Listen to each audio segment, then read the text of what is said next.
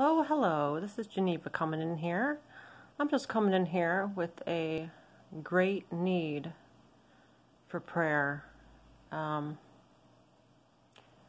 I'm just, you know, asking because I know there's a lot of prayer warriors out there.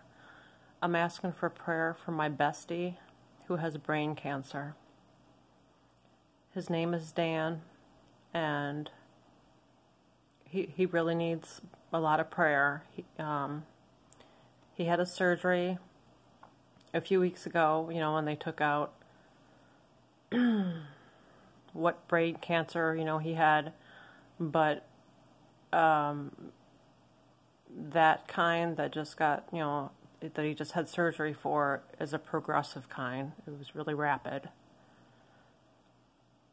So I'm just asking for prayer. Um, he's going to get rounds of, you know, both chemo and radiation, and I'm just asking for prayer. I love him so much. Um, back when, you know, uh, my daughter was growing up, you know, he did so much for us. You know, when we lived in that area where he lives, I just, I love him to death. He was my bestie from uh, 20 years ago. Let me think here. Yeah, exactly 20 years ago. Uh, so please pray for him. His name's Dan, and and he is a believer. So that part is amazing. So he's a believer.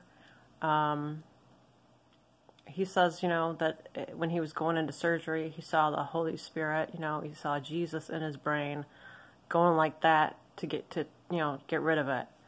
But like I said, it is the kind that got taken out is progress was a very rapid appearing, you know, um, kind. So if you could please pray for him, I would appreciate it so much.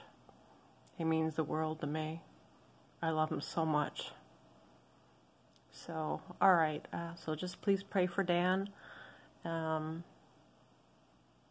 I am gonna I plan on making at least probably uh, one or two dream videos real soon because I've really had some whoppers from the Lord. So, all right. I love you and God bless.